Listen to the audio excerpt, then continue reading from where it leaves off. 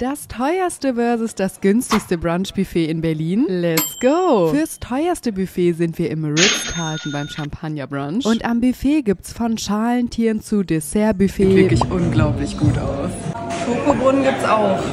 Pasta aus dem Parmesanleib einfach alles, was ihr euch vorstellen könnt. Aber ich will ehrlich mit euch sein. Ich habe die 200 Euro fürs Brunch nicht bezahlt. Denn ich wurde eingeladen. Umso mehr feiere ich diese Hummer Mac and Cheese Pasta oder diese ultra cremige Trüffelpasta. 10 von 10 für mich.